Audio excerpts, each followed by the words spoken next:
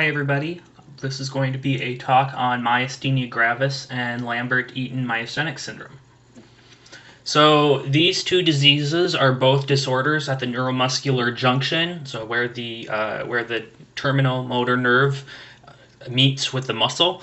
And they're both caused by antibodies that are affecting a receptor that's necessary for transmitting uh, the neuron action potential to skeletal muscle action. So at some point, the nerve has to be able to tell the muscle to contract. And th- these diseases affect the ability for the nerve to communicate with the muscle.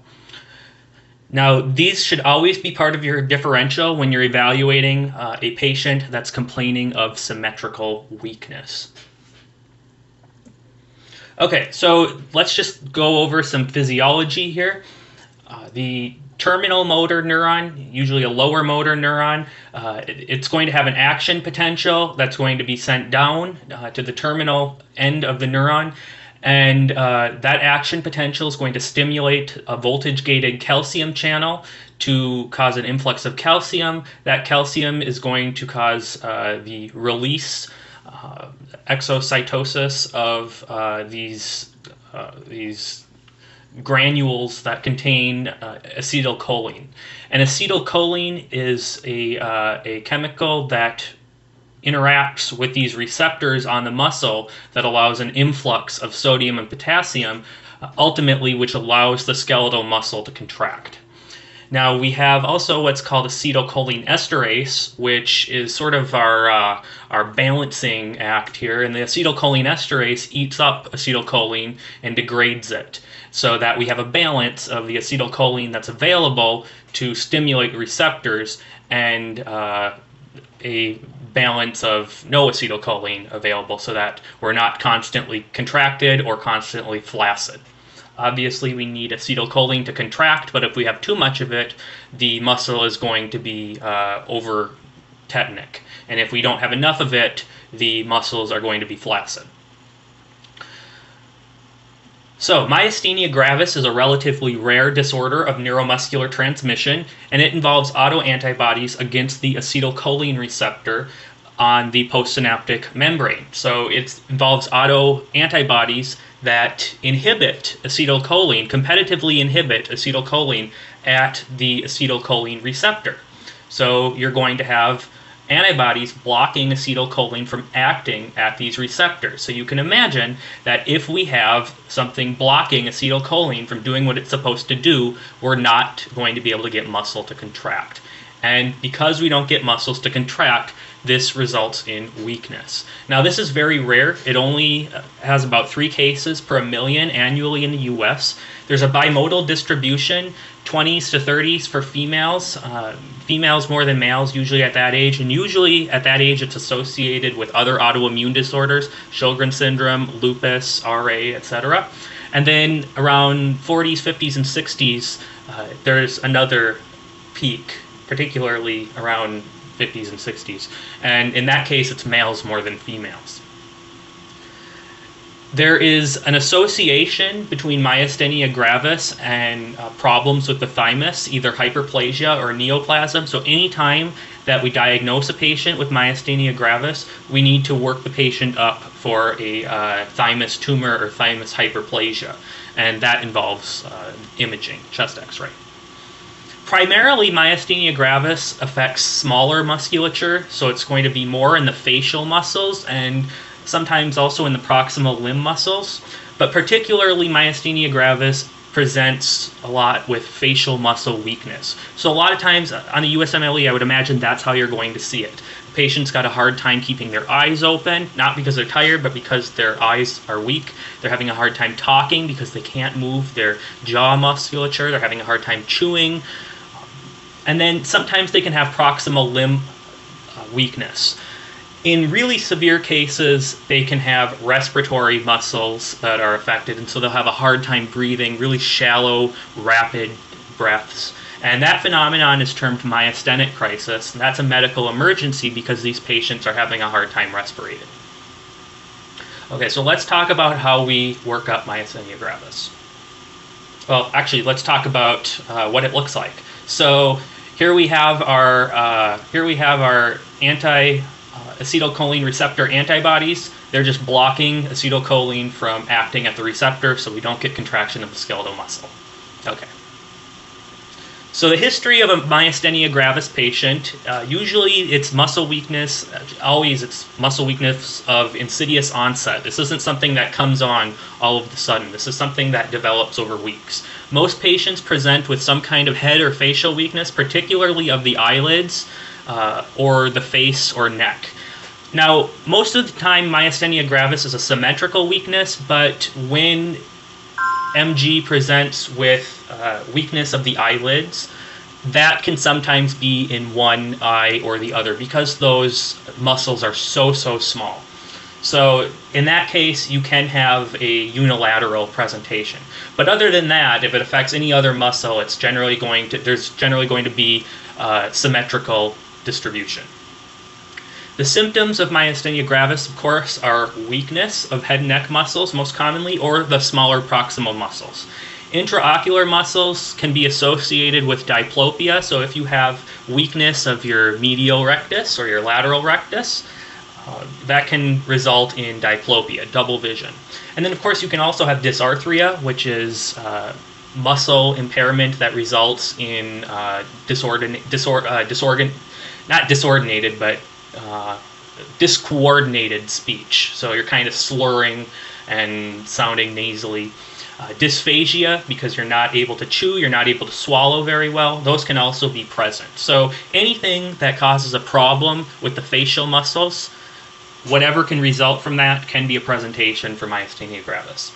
On physical exam, uh, you would see abnormalities that are noted on the cranial nerves as well as on neurologic examination, but particularly on those cranial nerves because they focus on the face. You're going to have difficulties uh, with um, with moving the facial muscles. You're going to have difficulty moving the eyelid. You're going to have uh, difficulty uh, showing a full grin.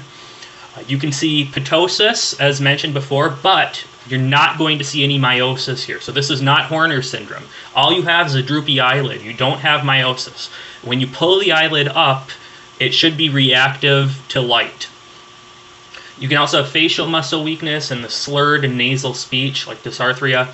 But most importantly, what happens with myasthenia gravis is that the weakness does not improve with repeated use. So if you try to get them to open their eyes multiple times, it's not going to get any better. It actually will probably get worse, or any part of their face or of a muscle that's affected. It's not the weakness is not going to improve with repeated use, and we'll see that that stands in contrast to Lambert-Eaton syndrome. And then also important with myasthenia gravis, this is purely a motor disorder at the neuromuscular junction. So there are no sensory abnormalities whatsoever. If there are sensory abnormalities, you should probably be thinking about something else. As far as diagnosis, when you suspect that myasthenia gravis is the diagnosis, so long as the patient is stable, so long as they're able to breathe, uh, and they're not desaturated or anything, the best initial step in diagnosing myasthenia gravis is to get an anti-acetylcholine receptor antibody titer. And this also should be accompanied with chest imaging to rule out a possible associated thymoma. Thymomas are very associated with uh, myasthenia gravis, so we want to look for that as well. So the initial step is going to be the antibody titer, anti-acetylcholine receptor antibody titer, the most accurate test, however, is an EMG because that will show that we have a weakness in the nerves and that weakness does not improve with repeated use. Now, there is something called the tensilon test with edrophonium. Uh, well, here's uh, a thymoma. We'll come back to this. Oops. Uh, got lost here. Okay, so there is something called the edrophonium test, uh, otherwise known as the tensilon test. What this is, edrophonium, is it's just a, uh, a really uh, fast-working acetylcholinesterase inhibitor. So what it does is it allows for more acetylcholine to be present for a short period of time.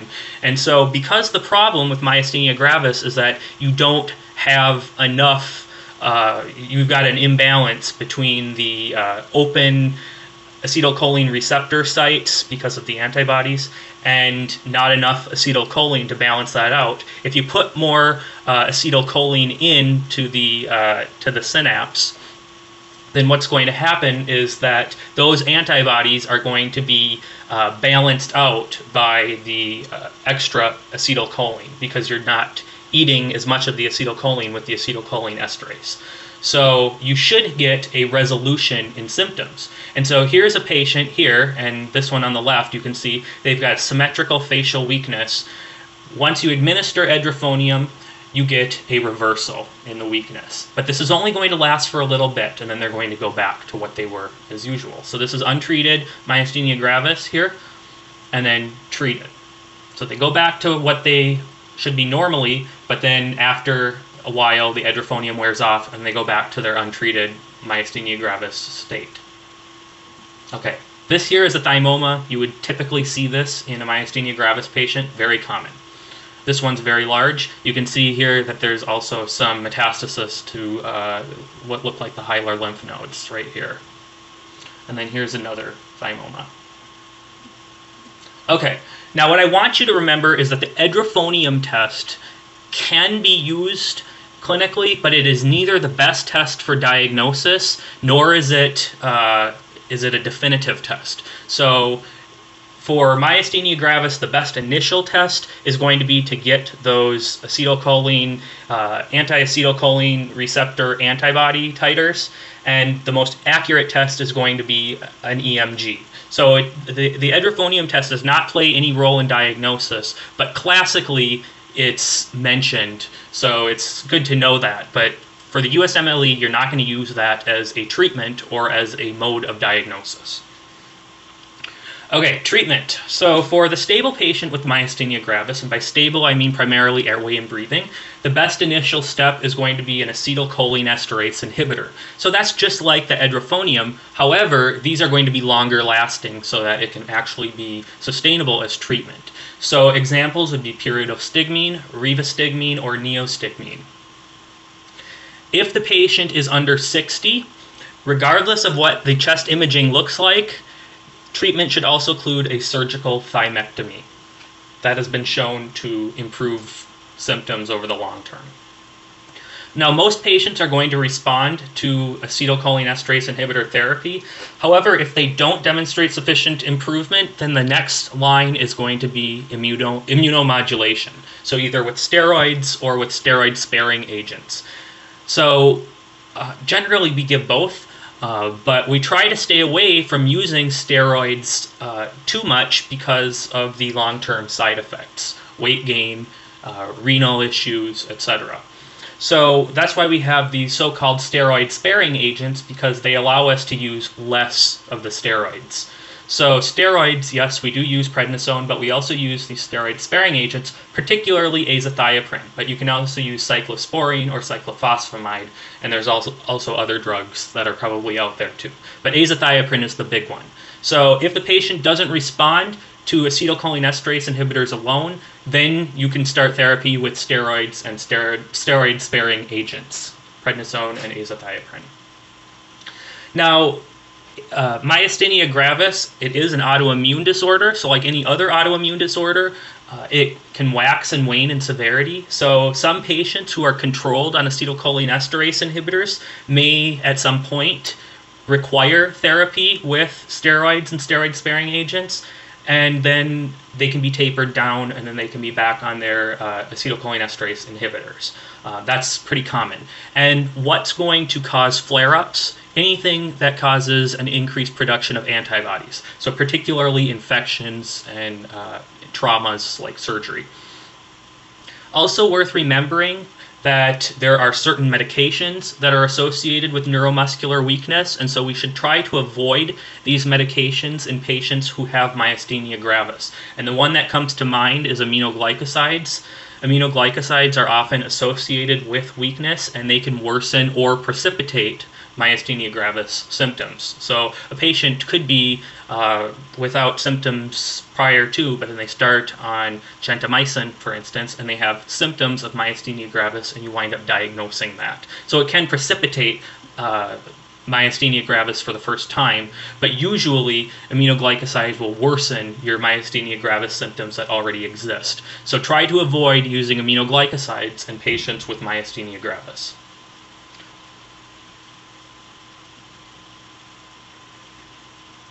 Okay, so this is how the treatment works. So the acetylcholinesterase inhibitors block acetylcholinesterase, and that allows for more acetylcholine in the neuromuscular junction because you're not breaking it down as much. You're getting just as much release, but you're not getting the same amount of breakdown. And so you've got more acetylcholine in the synapse. And so the result is going to be uh, that the acetylcholine will hopefully outbalance the, the anti-acetylcholine receptor antibodies. Because remember, those are in a, uh, a state of, uh, of, uh, of flux. So uh, usually the problem is is that you have too many antibodies and the acetylcholine can't get on there. But if you have more acetylcholine, you can actually saturate then uh, with uh, outsaturate the anti-acetylcholine receptor antibodies so that uh, they're not as effective because they are competitive inhibitors of one another.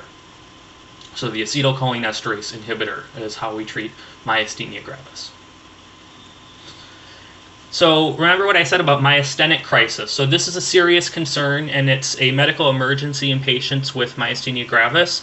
And this is a problem where you get neuromuscular blockade of the respiratory muscles. So not being able to move your eyelids or facial muscles is a pain in the butt, but not being able to contract your respiratory muscles is life-threatening. And so how do we see this? We see this patients having a decreased ability to breathe, shallow breaths, difficulty coughing, difficulty getting rid of respiratory secretions, and these patients are generally in respiratory distress and they're deoxygenated on their pulse oximeter. So on physical exam, you'll see desaturation on their vitals. A lot of times you'll see rales, rhonchi, and wheezing because they're not able to get their respiratory secretions out of their lungs. So you're going to hear uh, some of those uh, lung sounds. And usually it's going to be diffuse because it's happening everywhere. You'll hear shallow breathing because these patients won't be able to get a deep breath, but they still have a drive to breathe. They have oxygen hunger. So they're going to be breathing rapidly, but it's going to be really shallow breaths because they can't contract those respiratory muscles uh, as they should because they have a lack of acetylcholine. Um, well, I should say uh, they have the anti-acetylcholine receptor antibodies and not enough acetylcholine to balance them out. You'll also see acute signs of cyanosis. A lot of times these patients will be anxious, just like any other patient who's desaturated. And other signs of myasthenia gravis may also be present, such as the facial muscle weakness um, and so forth, like those patients we saw. The treatment here, because they are in respiratory distress and they can't breathe uh, to keep themselves alive, is going to be immediate rapid sequence intubation. You'll want to have neurology and anesthesiology on call and the immediate treatment is going to involve plasmapheresis or IVIG. And what that does is it takes out the bad antibodies, replacing it with normal antibodies. So you're you're filtering out all the bad stuff. Um, the IVIG is just a, an antibody for the antibody. So that way it sort of deactivates the anti-acetylcholine antibody antibody. So you're deactivating the inhibitor. Uh, but either of those therapies are equally uh, efficacious. Of course, these patients will also be needed to tr be transferred to the ICU because they're intubated uh, and they'll need to be monitored closely. You'll want to have labs on these patients, particularly ABGs, and uh, many of these patients also have an underlying infection or trigger for their crisis. There's also something called a cholinergic crisis, and this is going to cause you some problems when it comes to diagnosing patients. So remember that we had the myasthenic crisis. Well, the cholinergic crisis is kind of similar to that in that a lot of these patients have difficulty breathing, but these patients have their problems due to a toxicity from their treatment. So one isn't treated, the other is too much treated, but they have similar symptoms. So the way you're going to tell this apart, they both have difficulty breathing, but with acetylcholine toxicity, you also have your so-called sludge symptoms. So sludge is a toxicity of acetylcholine, which of course we would have if we had too much acetylcholine esterase inhibitor medication. And uh, that's sludge stands for salivation, lacrimation, urinary incontinence, diarrhea, GI upset, and emesis. So these patients will present nearly identical to myasthenia gravis or even myasthenia gravis crisis, but these patients are on myasthenia gravis medication and they've got these sludge symptoms. You would not expect these sludge symptoms to be present in a patient acutely presenting with, with myasthenia gravis or with the myasthenic crisis. As far as diagnosis, you can really only diagnose this clinically. Um, you may want to, if, if this patient never, uh, usually the patient has been diagnosed with myasthenia gravis before because they have these medications. Um, you can you can get an antibody titer, but often it's useful to have your ABGs just to see where their oxygenation is. And uh, the treatment for any kind of uh, cholinergic poisoning, if you have too much acetylcholine, is going to be anticholinergics such as atropine it's most important for the USMLE is to just recognize what a cholinergic crisis looks like. And if you have too much acetylcholine, it's going to be sludge. Salivation, lacrimation, urinary incontinence, diarrhea, GI upset, and emesis. And it may also have seizures as well.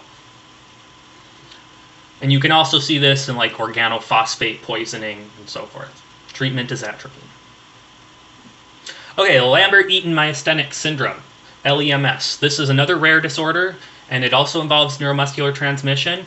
But this involves antibodies to the voltage gated calcium channels on the presynaptic membrane. So, whereas myasthenia gravis was on the postsynaptic membrane, on the muscle, this is on the presynaptic membrane on the nerve. And a lot of times, this is coincident with small cell carcinoma of the lung, about 50 to 70% of the times. So, more often than not, when you have a patient with Lambert Eaton syndrome, they also have small cell cancer of the lung. The symptoms are similar to uh, myasthenia gravis that involves weakness, but usually uh, this is going to more so involve proximal limb muscles rather than the facial muscles. It can involve the facial muscles, but not quite to the degree that myasthenia gravis does. So proximal weakness, usually upper body, without sensory abnormalities, the big thing here is that unlike myasthenia gravis, weakness is going to improve with repeated use. So you have the patient use their arms and push on your hand. The more they try, the stronger they get. It's the total opposite from myasthenia gravis. And the diagnosis here, the best initial step is to get the anti-VGCC antibodies, anti-voltage gated calcium channel antibodies. Just like in myasthenia gravis, where the best initial step was to get the anti-acetylcholine receptor antibodies, the best initial step for LEMS is to get the anti-voltage gated calcium channel antibodies. And just like myasthenia gravis, the best, most accurate test is an EMG.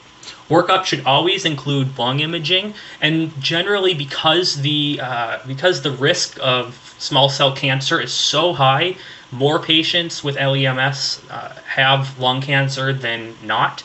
We're going to just go right to a CT or an MRI because the probability is so high. Because we can get a chest X-ray, but we're going to have to get a CT or MRI anyway, so it's better to just go straight to the CT or MRI because we want to make we want to really rule it out because LEMS is so coincident with small cell cancer.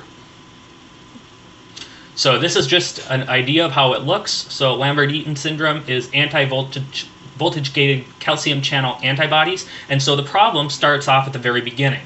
You get your action potential coming down the nerve, the action potential is supposed to stimulate this voltage-gated calcium channel to allow calcium in. Think of the name, voltage-gated calcium channel. What do you have coming down the nerve? You've got a voltage. Well, if you get that voltage coming down, you stimulate the VGCC to open. If you have antibodies sitting on the outside, though, you're not going to get your calcium to come in. And remember, that calcium coming in is responsible for the exocytosis of those acetylcholine granules. And so without the uh, without the the voltage gated calcium channel working, we can't get exocytosis of acetylcholine, and that's going to basically result in the same thing as myasthenia gravis. Now, the reason that this improves with more uh, more exertion is because if you continue with the exertion, what you're doing is you're building up the potential here. You're building up the voltage in the neuron. And ultimately, it's going to pull this voltage gated calcium channel open enough to where calcium will be able to come in. But just remember that Lambert Eaton myasthenic syndrome improves with uh, activity, and myasthenia gravis worsens with activity. And then this is small cell lung cancer. And uh, you can see here, this is a CT. This is uh, obviously done with contrast. This is the aorta, ascending aorta here, descending aorta, vena cava. And here's your trachea, the wider air-filled tube, and your esophagus is the smaller air-filled tube. And right off of your trachea is a cancerous nodule and more cancerous nodules here.